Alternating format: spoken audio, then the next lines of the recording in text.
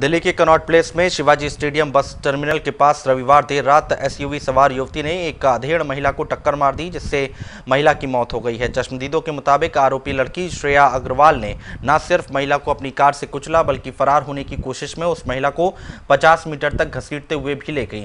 लेकिन कुछ दूर आगे पुलिस बैरियल लगाकर चेकिंग कर रही थी, जहाँ लड़की को पकड़ लिया गया। पुलिसकर्मियों ने गाड़ी को पलटकर बहुत मुश्किल से शव को बाहर निकाला। बताया जा रहा है कि आरोपी युवती श्रेया अग्रवाल बरेली के एक बड़े बिजनेसमैन की बेटी है। फ़िलहाल पुलिस ने लापरवाही से गाड़ी चलाने और गैर इरादतन हत्या के मामले में लड़की को गिरफ़्तार किया है।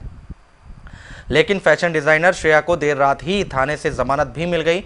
मृतका की पहचान फूलवती के रूप में हुई है। वो बंगला साहिब गुरुद्वारे के पास रैन बसेरे में रहती थी और वहाँ भीख मांगने गई हुई थी। फ़िलहाल पुलिस पूरे मामले की तफ्तीश कर रही है।